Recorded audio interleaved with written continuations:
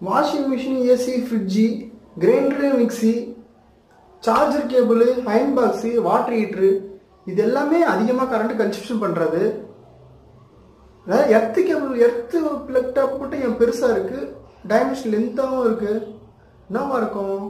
ஃபேஸின் நியூட்ரலும் ஒரே சேமாக இருக்குது டைமென்ஷன் சேமாக இருக்குது ஆனால் எர்த்து மட்டும் லென்த்தாக இருக்குது டைமென்ஷன் பெருசாக இருக்குது ஏன்னு தெரியலையே. இந்த டவுட் உங்களுக்கு மட்டும் இல்லைங்க. எனக்குமே ரொம்ப நல்லா இருக்கு. இது எதனால பெருசா இருக்கு? இது எதனால சின்னதா இருக்கு? இது டைமென்ஷன் எதனால வேரியேஷன் ஆகுது சொல்லிட்டு இந்த வீடியோ ஃபுல்லாக உங்களுக்கு சொல்லி தரப்போறேன். ஓகே வாங்க வீடியோக்குள்ள போகலாம்.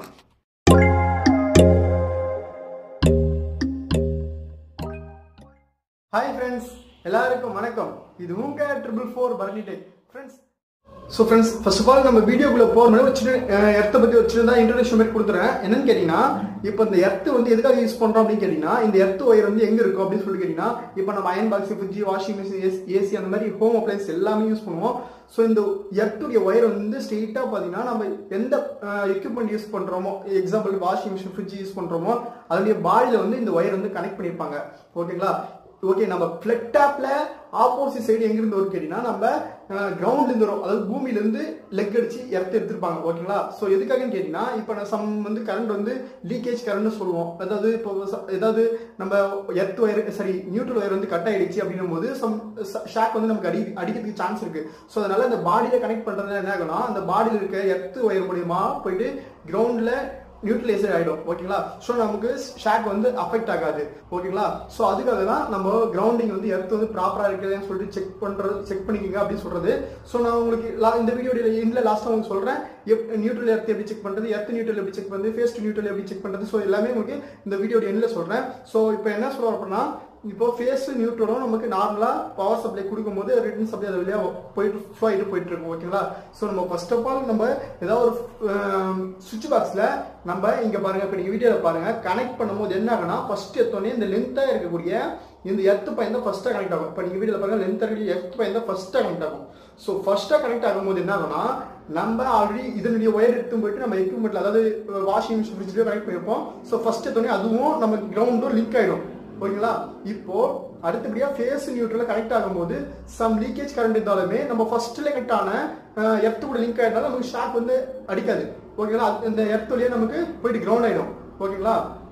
இதுதான் ஃபர்ஸ்ட் ரீசன் லென்த்தா கொடுத்துக்கான ஃபர்ஸ்ட் ரீசன் என்ன கேட்டீங்கன்னா ஃபர்ஸ்ட் எத்தனை எர்த் இங்க பாருங்க கனெக்ட் ஆகுது. ஓகேங்களா? ஸோ இதனால ஒரு ஹியூமனுக்கு எந்த ஷாக்கும் அடிக்காது. ஸோ இதனால தான் இது வந்து லென்த்தாக ஃபர்ஸ்ட் கனெக்ட் பண்ணுறாங்க லென்த்தாக கொடுத்துருக்காங்க ஓகேங்களா ஸோ செகண்டு எதுக்கு இதோட டைமென்ஷன் வந்து சின்னதாக கொடுத்துருக்காங்க அப்படின்னு சொல்லிட்டு கேட்டிங்கன்னா இது டைமென்ஷன் பெருசாக கொடுத்துருக்கோம் அப்படின்னு சொல்லி கேட்டிங்கன்னா இப்போ நமக்கு ஃபேஸ் நியூட்ரல் ஒரே சேமாக இருக்கும் ஓகேங்களா இது மாற்றி கனெக்ட் பண்ணாலும் நமக்கு எந்த ப்ராப்ளமே வராது. ஸோ இன்கேஸ் இது வந்து சின்னதாக கொடுத்துருந்தாங்கன்னா நம்ம சிலர்லாம் நல்லா பார்த்து த்ரீ பின் பிளக்கர் தான் கனெக்ட் பண்ணுவீங்க. ஒரு சிலர் வந்து இப்படி கனெக்ட் பண்ணுறதுக்கு சான்ஸ் இருக்குது ஸோ இன்கேஸ் தெரியாத பட்சத்தில் இந்த ஒரு ஃபிளிக் டாப்ல கனெக்ட் பண்ணுறது சான்ஸ் இருக்கு. அப்போ என்ன ஆகும்னு கேட்டீங்கன்னா இப்போ இதுவும் இதை சைஸே கொடுத்துருக்கும் போது இதில் கனெக்ட் பண்ணும்போது ஷாக் அடிக்கிறது நமக்கு சான்ஸ் இருக்கு.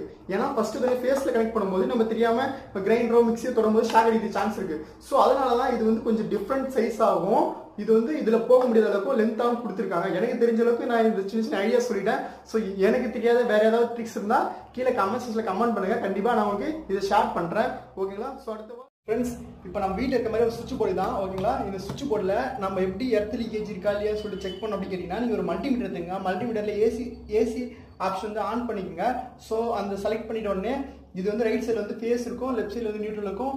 மேலே டாப்பில் வந்து எர்த் இருக்கும் ஓகேங்களா ஃபஸ்ட்டு தானே நியூட்ரல் டு ஃபேஸ் வந்து டூ ஃபார்ட்டி வோல்டேஜ் வரணும்.